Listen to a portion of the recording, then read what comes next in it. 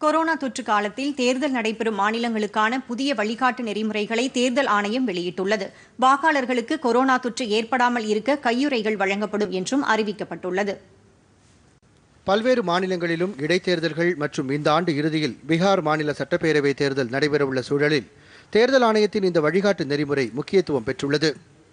Corona பரவலை தடுக்கும் வகையில் வாக்குச்சாவடிகளுக்கு வரும் வாக்காளர்கள் அனைவரும் முகக்கவசம் அணிய வேண்டும் தனிநபர் இடைவெளியை கடைபிடிக்க வேண்டும் வாக்காளர்களுக்கு கையுறை வழங்கப்பட வேண்டும் உள்ளிட்ட நெறிமுறைகள் வெளியிடப்பட்டுள்ளன. வாக்குச்சாவடிக்கு வெளியே வாக்காளர்கள் கைகளை கழுவுவதற்கு ஏற்பாடு செய்வதுடன் கிருமி நாசினியும் தயாராக வைத்திருக்க வேண்டும் என்றும் தெரிவிக்கப்பட்டுள்ளது. வாக்குச்சாவடிக்குள் செல்வதற்கு முன் அனைத்து வாக்காளர்களுக்கும் வெப்பமானி மூலம் உடல் வெப்ப பரிசோதனை செய்யப்படும். அதிகபட்சம் ஒரு வாக்குச்சாவடியில் ஆயிரம் வாக்காளர்கள் மட்டுமே ஒரே நேரத்தில் அனுமதிக்கப்படுவார்கள் என்றும் கூறப்பட்டுள்ளது. தேர்தல் பிரச்சார கூட்டங்களை நடத்துவதற்கும் கட்டுப்பாடுகள் விதிக்கப்பட்டுள்ளன. கொரோனா பரவலை தடுக்க குறிப்பிட்ட மைதானங்கள் அல்லது அரங்குகளை மாவட்ட தேர்தல் அதிகாரி பார்வையிட்டு அதன் பின்னரே கூட்டம் நடத்த அனுமதிக்கப்படும். வேட்பாளர்கள் ஆன்லைன் முறையில் வேட்புமனுக்களை தாக்கல் செய்ய ஏற்பாடு செய்யப்படும்.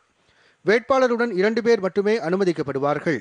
இரண்டு வாகனங்கள் மட்டுமே ஒரு வேட்பாளருக்கு அனுமதிக்கப்படும். வீடு வீடாக சென்று வாக்கு சேகரிக்கும் போது ஐந்து பேர் மட்டுமே செல்ல வேண்டும். தேர்தல் பிரச்சார ஊர்வலங்களின் போது ஐந்து வாகனங்கள் மட்டுமே அனுமதிக்கப்படும் என்ற விதிமுறைகள் வெளியிடப்பட்டுள்ளன. வாக்குச்சாவடிகள் அனைத்தும் கிருமிநாசினி கொண்டு முதல் நாளே சுத்தம் செய்யப்பட வேண்டும். தேர்தல் பணியில் ஈடுபடும் அலுவலர்கள் பாதுகாப்பு படையினர் உள்ளிட்டோருக்கு முகக்கவசங்கள் கிருமிநாசினி உள்ளிட்டவை வழங்கப்படும்.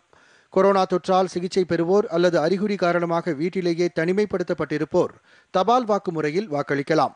மேலும் எண்பது வயதுக்கு மேற்பட்ட முதியவர்கள் மாற்றுத்திறனாளிகளும் தபால் வாக்களிக்க வழிவகை செய்யப்பட்டுள்ளது. விதிமுறைகளை பின்பற்றாதவர்கள் மீது சட்ட ரீதியிலான நடவடிக்கை எடுக்கப்படும் என்று தேர்தல் ஆணையம் தெரிவித்துள்ளது. பொதிகை செய்திகளை யூடியூபில் தமிழ் நியூஸ் தூர்தர்ஷன் என்ற சேனலிலும் முகநூலில் டிடி பொதிகை நியூஸ் என்ற பக்கத்திலும் ட்விட்டரில் டிடி நியூஸ் சென்னை என்ற பக்கத்திலும் இன்ஸ்டாகிராமில் டிடி பொதிகை நியூஸ் என்ற பக்கத்திலும் காணலாம். மேலும் உங்கள் கருத்துக்களை Podhigai DD news at Gmail dot com என்ற மின்னஞ்சலில் தெரிவிக்கலாம்.